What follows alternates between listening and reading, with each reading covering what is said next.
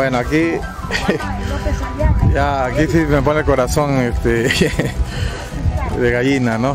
la piel es de gallina porque realmente aquí he pasado 23 años de mi vida y aquí esto había pues mango, limón, ya no está.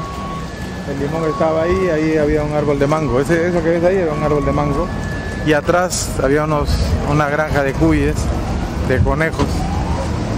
Y un bosque, atrás había un bosque maravilloso que ya veo que no, no, no hay. Pero no. Pero bueno, es, aquí, aquí he crecido, ¿no? Aquí he estado 22 años de mi vida. Me latía el corazón muy fuerte, ¿no? Y uno recuerdas muchas cosas de lo que has vivido ahí, ¿no?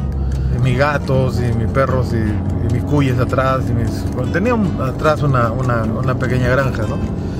Es la vida campestre, caballos, había caballos y también había un bosque, un bosque atrás de unos pinos enormes de más o menos 40 metros de altura que también no existen. ¿no? me ha gustado mucho también la iglesia de Pomalca. Ahí estaba el padre Vidalón, ya falleció. La vez pasada que vine hace unos años, eh, sí lo encontré. Ya viejito, pero lo pude saludar, darle un abrazo. Y él me dijo una cosa, ¿no? Me dijo, Rafael, voy a hacer por ti, porque si tú incursionas en política, va a ser muy difícil. Pero voy a rezar por ti. Yo, al padre Vidalón, que sé que me está escuchando, de ahora está en el cielo, pues un hombre santo, le pido que nos siga, siga rezando por mí, pero también por Pomalca, que él, dedicó su vida a Pomalca.